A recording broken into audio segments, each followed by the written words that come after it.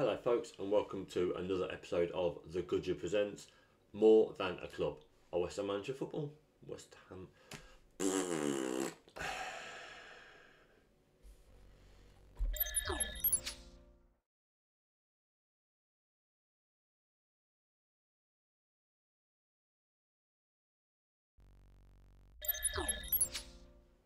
Hello, folks, welcome back to another episode of The Gudja Presents More Than a Club, a West Ham Football Manager save.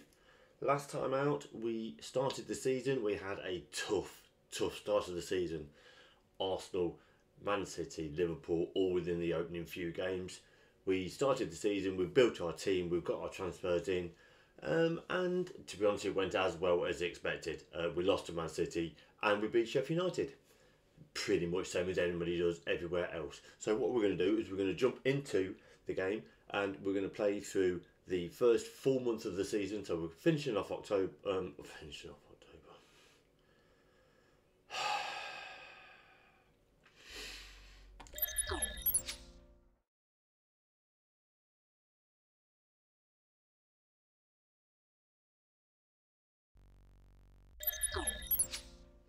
Hello, folks. Welcome along to another episode of More Than a Club, a West Ham football manager save. My name's Dave, and we have started the season with West Ham. We have gone through pre-season. We've built our tactic. We've we've, we've got our recruitment in, and the first two games of the season went pretty much as expected. We played Man City and we lost, and we played Sheffield United and we won. Now we have got the last game of the of, of August where we are playing Arsenal and then we're heading straight along and we're going through September where we start our Europa League campaign, we start our Carabao Cup campaign and hopefully get some points on the board in the Premier League. So let's jump on over as we see how well we can do with West Ham. So here we are, like I said, we have started the season. Uh, The expectations of the board is mid-table, um, which is good because that's pretty much where I expect us to be. Uh, like I said, last time out we played um, Man City and, and we got thoroughly trounced uh, 5-1. Uh, Erling Haaland scoring four, Erling Haaland doing what Erling Haaland does. Uh, we had the temerity to score, which kind of upset them, and then they scored three in quick succession after that. Um, after that was Sheffield United, which was the last game of the previous video. Please, by all means, go back and watch the previous two videos and, and, and get yourself acquainted to what we the tactic we're playing. Um, and and that was a lot lot better. Uh, that was a three 0 win. Their goal coming in the ninety third minute. After that, like I said, we were uh, Arsenal closed out the, uh, the the opening month of August, and again went kind of as expected. Uh, because Bukayo Saka pretty much running the show, taught, scoring two goals in the opening fifteen minutes uh, we, we were not at the races. We- They had 15 shots to our five. We only had one on target. Emerson got himself sent off on 69 minutes, which absolutely did not make it any better for us. Uh, Only two bright sparks in the entire game for us. Areola, uh, despite conceding two, played a seven, and Thomas Soucek in midfield again did quite well himself. So that left us um, from our opening three games of, of uh, just the three points from the Sheffield United game, which took us over to the the, the third tough game in the opening four fixtures. That was Liverpool. Liverpool came a knocking at London Stadium, and we managed to pull ourselves a little draw out of this. We we pushed ourselves back to a, a 4-2-3-1 formation. Uh, whereas previously at the start of the season we were we were toying around with it with sort of an eye of Sauron at a a circular formation, three at the back, two wing backs, two wide men, and a striker.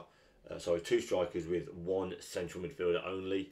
Uh, it, it, it's fine in practice. We were getting overrun in midfield, so I dropped it back to a standard four two three one. Um, I say standard. We've not got um, two holding midfielders. We've got two central midfielders, a ball winner midfielder, and a deep line playmaker.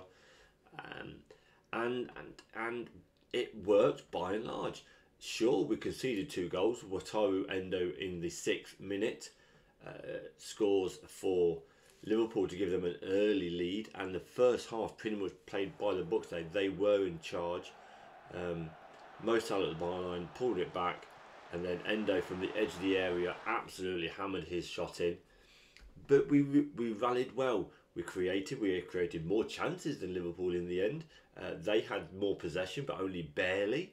RXG was double theirs, and Marcus Leonardo, uh, who who came on as a substitute in that second half, uh, finally gets uh, a deserved equaliser for us after Lucas Paquetá missed a penalty at the start of the second half. But Leonardo, who, who came in, scored uh, the, the, the equaliser. Kudus swinging it over, and then with Becker, Alisson Becker coming out, reaching for the ball and missing it. It was a simple nodding for Marcus Leonardo. So that was a bonus point. We didn't expect anything out of that game. A point at, uh, against Liverpool is always a good point. So that was that was really good, which set us up and and, and then with the, with the tough start out the way, Wolves were up next, and once again we had a slow start. Matheus Cunha for Wolves were really made us pay. Uh, we were slow out the gates. Uh, Cunha coming on the left hand side, wins it back off Soucek, and then a disappointing one for Areola to uh, concede. I'm not 100% convinced with him. He's, he's been very hit and miss so far this season.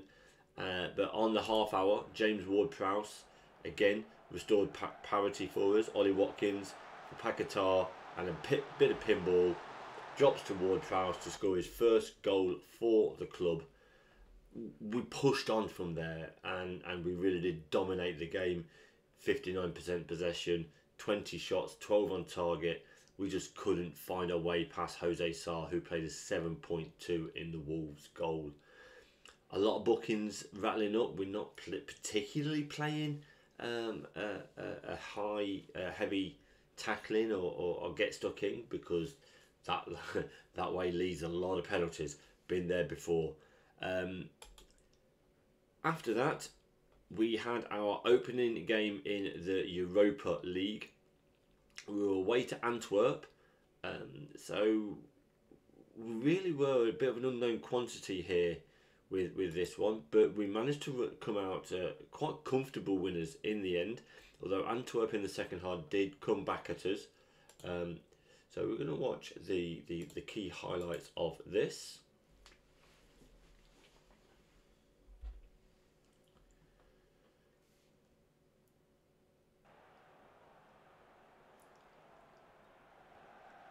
like I said, they were as good as they got, and early doors hitting the woodwork and, and, and waking us up really in the 18th minute.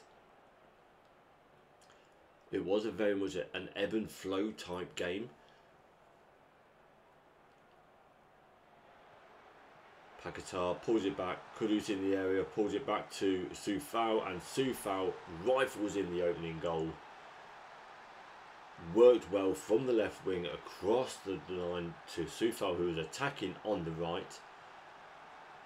Then, seven minutes before half time, Emerson doing well down the left, feeding Paquetá.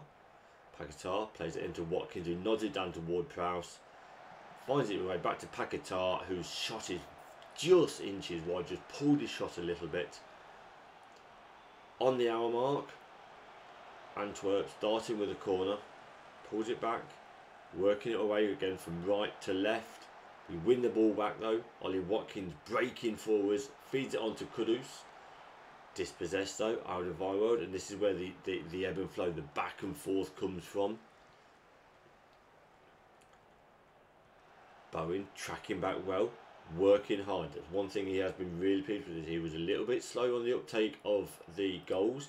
His passing though really disappointing there set us on the back foot. as a lot of us were were pushing for the counter attack and fortunate, very fortunate, not to concede early doors there. As a couple of minutes later, Soucek driving forward finds Bowen. He plays it back to Coufal. The two right wingers combining well there into Kudus in the area, dinks it over, and then Lucas Paquetá at the far post, rifling the volley in.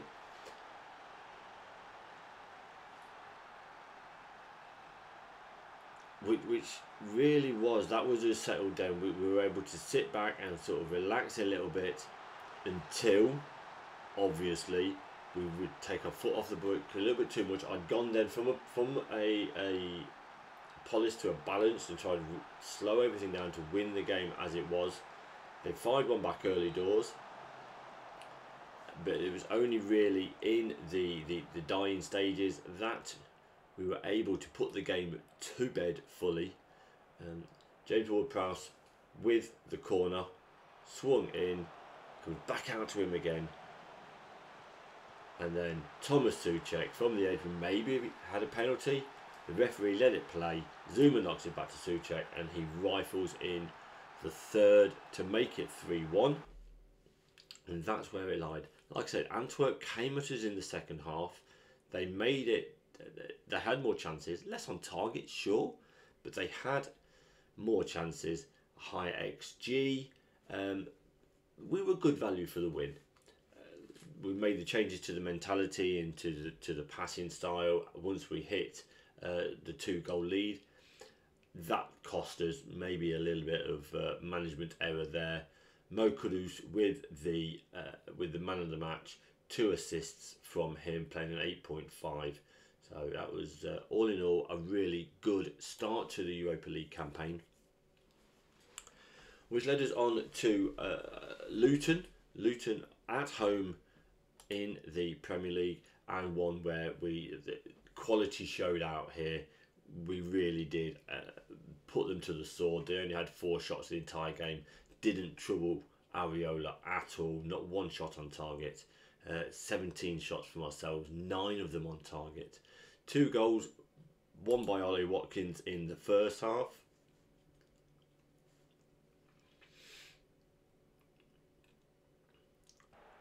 Which worked well. Zouma feeds Coufal to Bowen.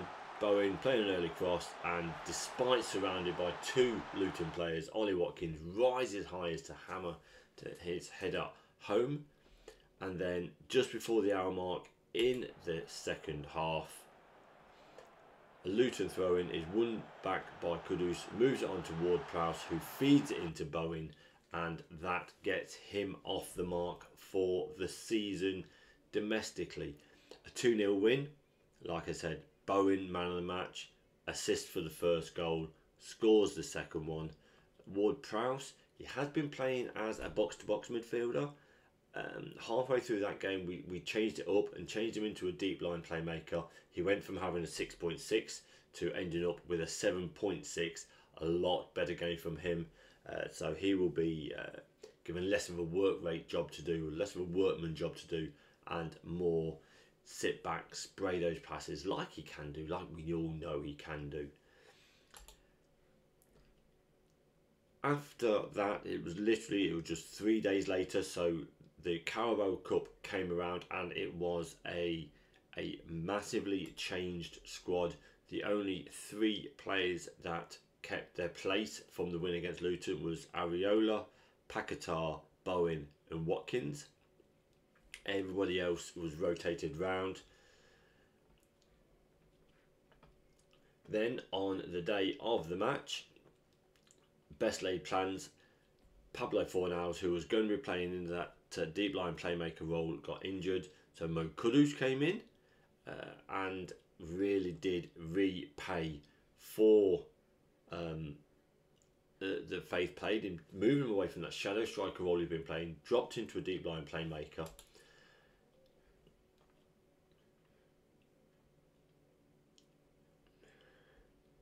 And this was a goal fest from start to finish in the 27th minute Bowen pulls it back.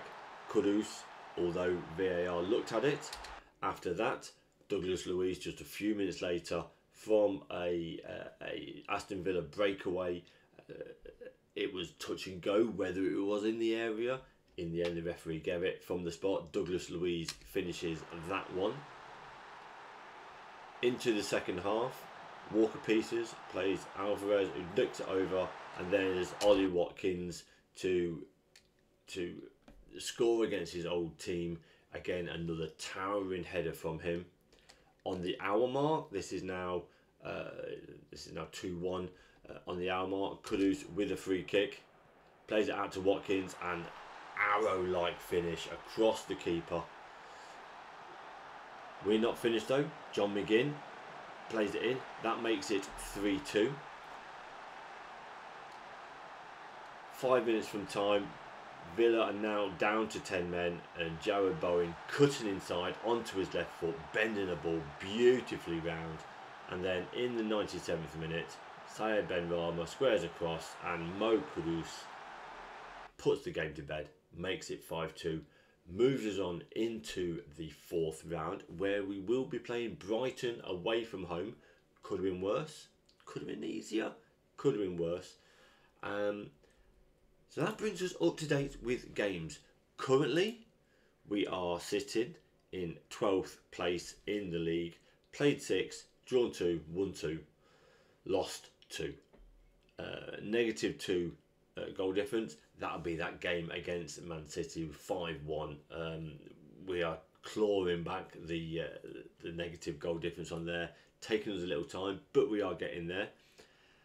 Up next, and the last part of action in this video is the live play of the Bournemouth away from home fixture.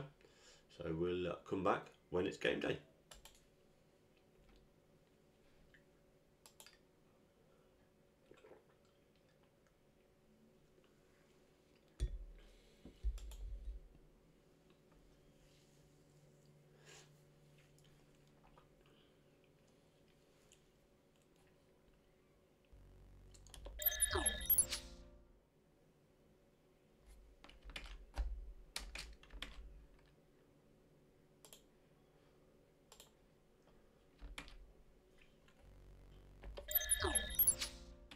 And we are back. It's game day. Forest have beaten Luton already in the early fixture, and big games coming up. Arsenal, Newcastle. We've got Man U versus Brentford. That's never easy. Uh, Spurs, Man City, a big game there for Spurs, and and obviously ourselves away at Bournemouth. Uh, we are not going cautious. We are we're away from home, so I'm going to stick with the uh, balanced to start with. Like I said, we are gone into a 4 2 3 1 formation, two inside forwards, fullbacks on there. Uh, that, that is supposed to be a winger there uh, on attack. Uh, Ward Prowse is a the deep line playmaker. Soucek is a ball in the midfielder. Two defensive central defenders on defend on on defend. Marcus Leonardo is in for Ollie Watkins. It was literally two days ago that we played the Villa game. He's being rested. He's on the bench in case we need him. But young Marcus Leonardo, uh, who, who did really well in pre-season, he's coming in 20 years old. He's going to get his um, first start for West Ham, and we are away at Bournemouth.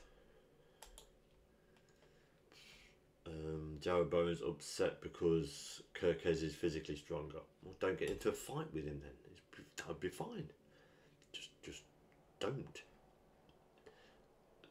Recent form, Bournemouth have won just one of their last five. We are five unbeaten, three wins in a row in all competitions.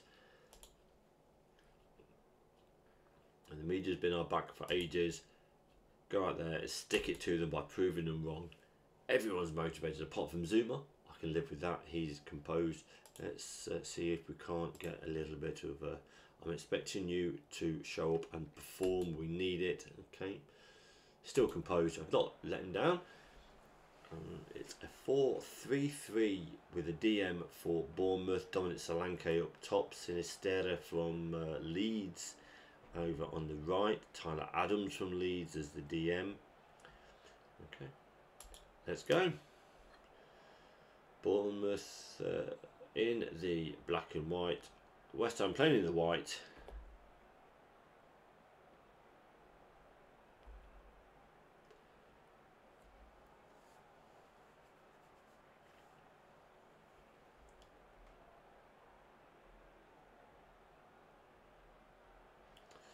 Twenty minutes in, not a lot happening. Let's get some encouragement onto the onto the players. We are we've got all the momentum to let I'm just gonna knock this up to positive. Just see if we can't get a little bit more urgency. Okay. Start highlight with Bournemouth. Kerkez on their right. Kudus wins it but can't keep hold of it. Traore is through, takes a shot. Oh no!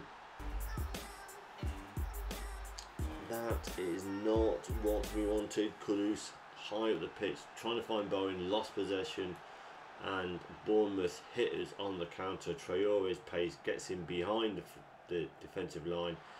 Again, though, Areola, you gotta look at doing better there at your near post. Mm. Okay, so the first highlight yields the first goal, and we reach half time.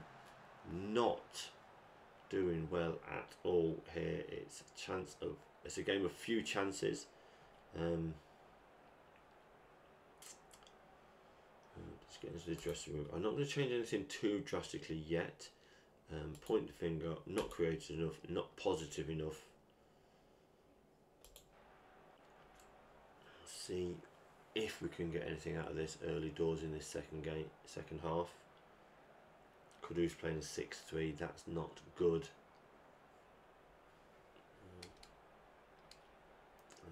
So half hours played, this is not working here at all. So Paquetá for Kudus, who's both tired and not playing well. And Ollie Watkins can come on for Leonardo. I think that's all we can do front line wise. We're going to go attacking. Um, we are going to push this defensive line up a touch. Um, uh,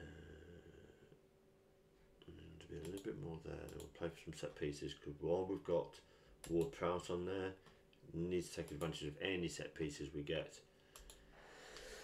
Right then. Bournemouth absolutely bossing this.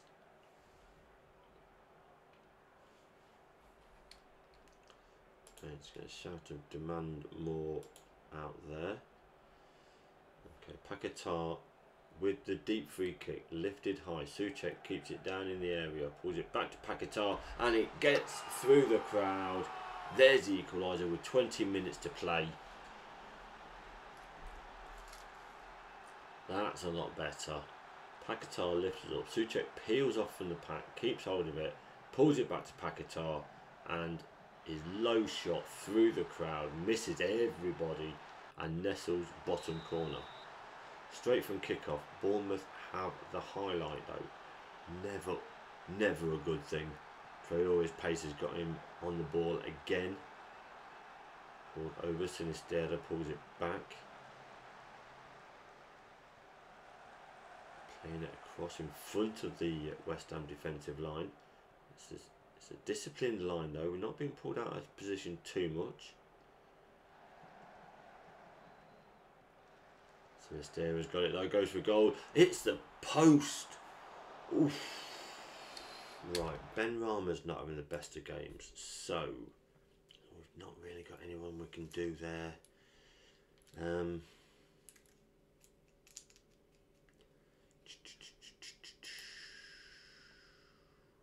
Ward Prowse can play that attacking midfielder role. Yeah, let's do that. Let's let's move Paquetá out onto the left. Alvarez on for Benrahma. Bring Ward Prowse as an advanced playmaker here on support, and we'll go double ball winning midfielder in here.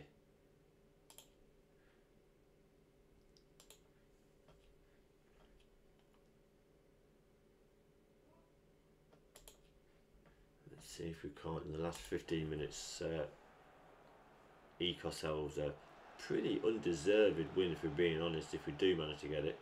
Sarr gets the ball deep plays it to Zouma Zouma with plenty of time to find the right pass. Alvarez's pass is poor.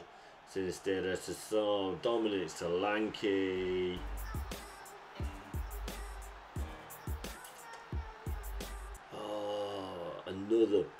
pass from Zouma's pass into Alvarez. Alvarez trying to move it on quickly, straight to Bournemouth, and then they are quick as a flash straight onto us.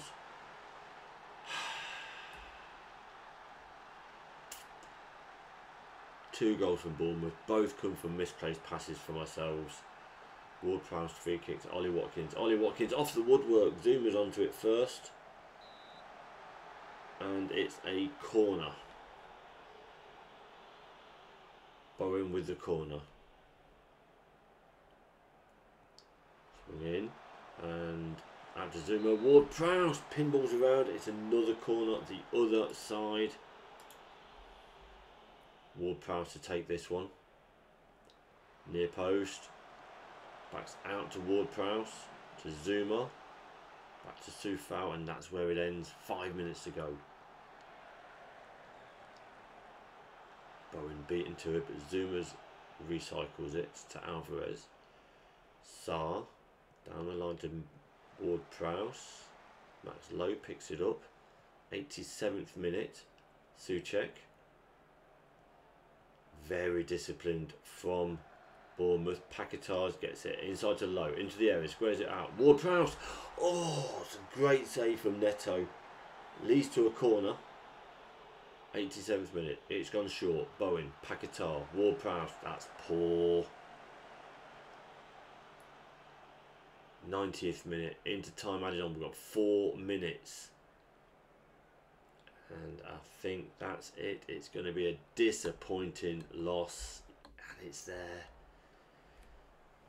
we've got pretty much what we deserved. Authors of our own demise. A poor pass in the first half freed out Traore to outpace the defence, and then Alvarez gift wrapping the ball to them. Um, and yeah, away from home, really disappointing with thrashing the arms. I'm far from pleased there. Um, and yeah, sure, a couple of bright sparks, Soucek and, and Max Lowe but mm, really not impressed with that at all. Leaves us down in 12th. That was one of the games we really, really wanted to get won. So we are. That's where we're going to leave this this video, and coming up on the next one, uh, we'll have uh, two Europa League games. We've got Maccabi Haifa and Dynamo Kiev, and then league games against Fulham and Everton, and then a big, big London derby against Spurs. So that is where that is there. Thank you, everyone. Um, that's been watching. Please hit that like button, hit the subscribe button. Uh, leave me any comments if you if you any ideas for for tactics, instructions, or anything like this. Honestly, back seating is very very welcome here. Um, yeah. Thank you everyone for watching. I'll catch you on the next episode of More Than a Club. Ta-ta for now.